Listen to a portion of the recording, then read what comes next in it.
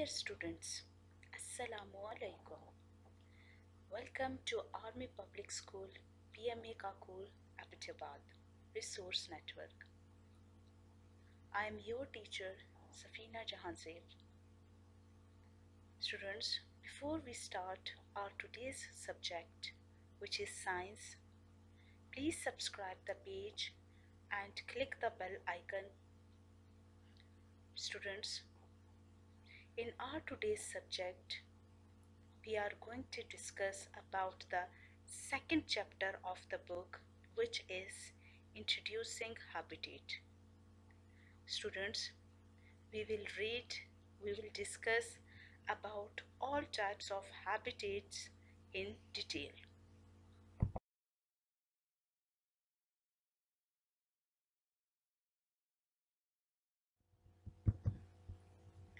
Students, now in this slide we are going to discuss about the second chapter of the book which name is Introducing Habitats.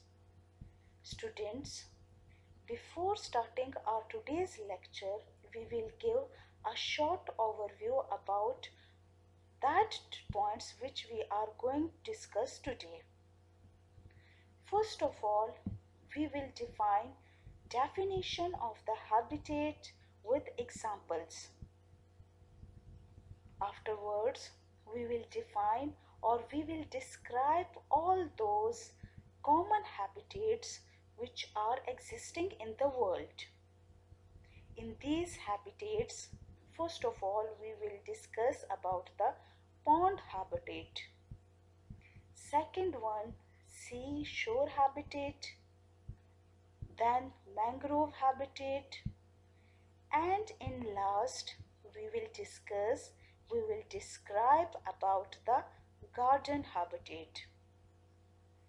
After describing all these habitats, we will do some activities. In first activity, we will match some habitats with their relative organisms. And in second activity, we will answer some those short questions which are relating our today's topic. Students, now here we are going to discuss about the definition of the habitat which we already defined in previous lecture. So according to this web, according to this diagram, the simplest definition of the habitat is a place where different groups of organisms live, interact and reproduce. Now we are going to try focus on the factors of any habitat. Habitat has factors which are different in different habitats. As we know, every habitat has their own factors and these factors are going to differentiate one habitat from the other habitat. Same like habitat has factors which determine types of organisms living there. And same these factors are going to determine the organism of any habitat. So the factors like light, temperature, air and other all factors of any habitat define the nature of organisms which can survive in that habitat. Students, here in this slide, we will define the definition of habitat in simple words. What is habitat? Students, we know in our previous lecture, we have briefly discussed the definition of habitat with examples. So, habitat is a place or shelter to any animal, plant, and all living organisms. Examples of habitat grassland habitat, seashore habitat, forestland habitat, pond habitat, garden habitat, and mangrove habitat. Now the facts about habitats are Habitats can be huge like forests or can be much smaller like a burrow. Students, in this diagram, we can see a clear and well-defined picture of all types of habitats. Every habitat is different in nature from other habitats. Here, desert habitat is present, forest land habitat, seashore habitat, pond habitat, grassland habitat, all types of habitats are existing in this picture. Picture number two. Here, a group of animals or a group of organism is existing in a grassland. So we can say this habitat or this grassland habitat is most favorable place for these organisms. In last picture, we can see a sea habitat. Here fishes are present, different types of plants are existing and all other types of organisms are existing in this habitat. So in this way we can say it is a favorable or a suitable habitat to all types of organisms. Students, now we are going to discuss about some those common habitats which are present in the world. As we know, every habitat is its own properties, organisms and factors which makes it differentiate from other habitats. So in this regard, the first habitat which we are going to discuss today is pond habitat. First of all, we will describe the nature of that habitat. Then we will see climate or temperature of the pond habitat. And in last, we will discuss the organisms which are existing in pond habitat. So in description, the pond habitat includes a small freshwater area that is still or not moving and is surrounded by land. Now climate or temperature of pond habitat is the temperature of any pond habitat is generally warm and highly humid. And in last, the organisms which can exist in pond habitat are frog, water spider, small fishes, worms, snails and other insects. Students, in diagram number 1, we can see there are lots of organisms, insects which are existing in pond habitat. Here we can see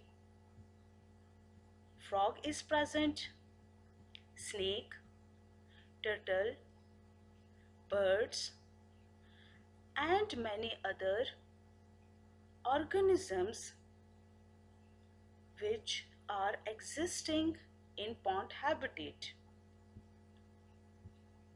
In this diagram number 2, we can see a small fresh water area which is not movable so it's called pond habitat.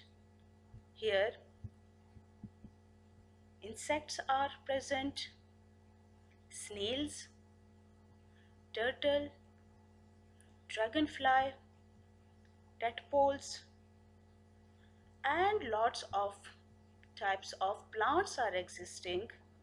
So in this way we can say it is a favorable or it is a suitable environment or habitat for all these type of organisms.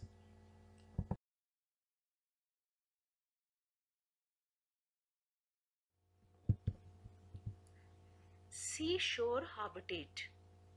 Students, now we are going to discuss another type of habitat which is seashore habitat. First of all, we will describe the nature of habitat. So, seashore is the habitat right next to the ocean or sea and it can be rocky and soft sandy area. Temperature Normally temperature of seashore habitat varies with season but it is warm and highly humid habitat. Now, organisms of seashore habitats are seagull, starfish, algae, which is a plant, crabs, jellyfish, and shells. Students, in these two pictures, a specific type of habitat is described. We can see through organisms, we can see nature of the habitat. It is seashore habitat. Students, the organisms which are existing in seashore habitats can live inside and outside the water. Here we can see starfish, crab, jellyfish, seagull and lots of other snails which are existing in seashore habitat.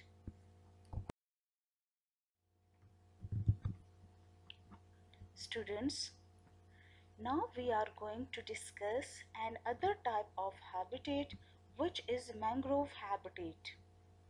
So first of all, we will describe nature of this habitat. So in description, mangrove habitat is generally small forests exist near the river or coastal lines. Climate or temperature. Temperature of this habitat is very high and rate of rainfall is very high as well. Soil of this habitat is much muddy. Now those organisms which are present in mangrove habitats are monkey, sea snake, alligator, crabs, fishes, spiders and different worms.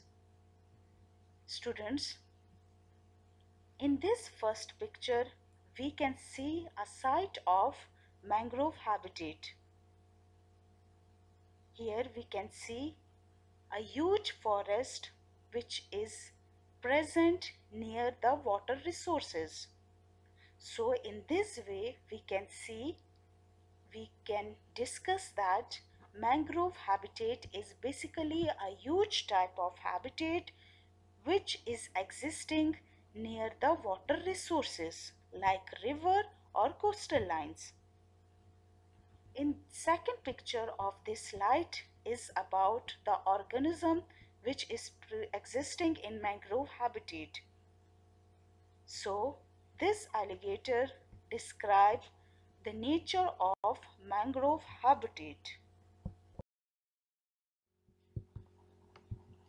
Students, now we will discuss another type of habitat which is garden habitat. Students, we will describe this type of habitat. We will discuss about the temperature or climate of garden habitat and in last we will discuss about all those organisms which are going to exist in garden habitat. So first of all the definition or description of garden habitat is garden habitat is that habitat which occupies a small area and contains variety of organisms.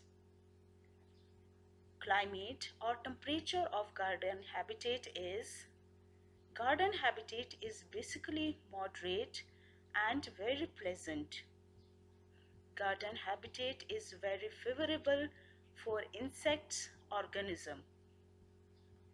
And in last, the types of organisms which are existing in garden habitats are centipede, scorpion, fungi, earthworm, butterfly, different trees and plants and grasshopper. Student, here a very fascinating picture of butterfly is present. As we observe the butterfly in every type of garden habitat. In diagram, we can see the organisms which are existing in the garden habitat. Here grasshopper, butterfly, snails, centipede, dragonfly, beetle, earthworm, spider and lots of other organisms like birds, insects, microorganisms all these are existing and it's the favorable habitat for these organisms.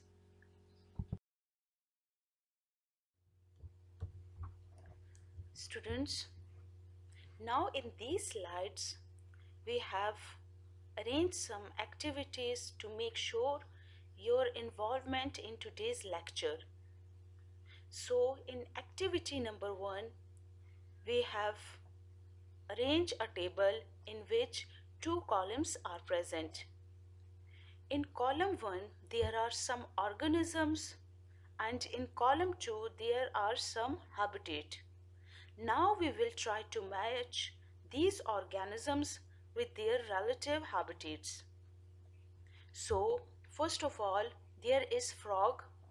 Frog belongs to pond habitat, starfish, seashore habitat, earthworm, garden habitat, camel, desert habitat. Penguin belongs to Arctic habitat, dragonfly, mangrove habitat, and dove belongs to garden and mangrove habitat. Students, now it's your task, your assignment. Please try to make a table and arrange all organisms and habitats in that table and try to match the organisms with their relative habitat. In this way, you will be able to define the exact habitat of that organisms.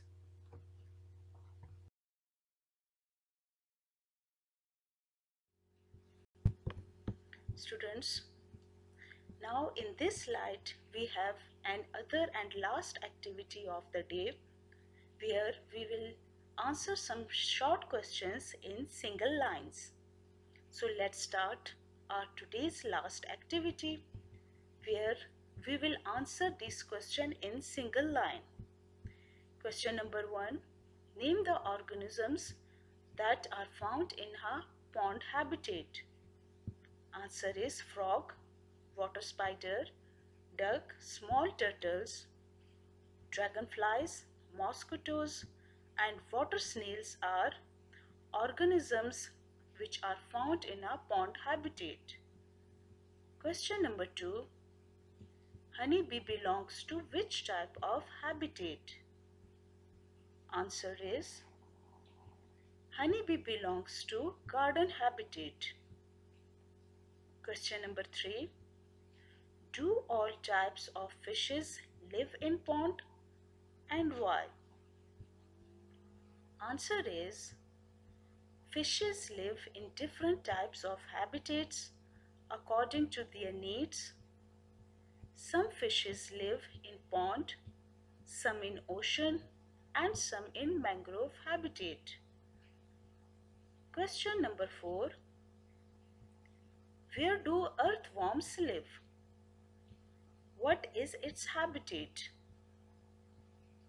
Answer is earthworm normally lives in loose soil so the favorable habitat to an earthworm is garden and pond habitats.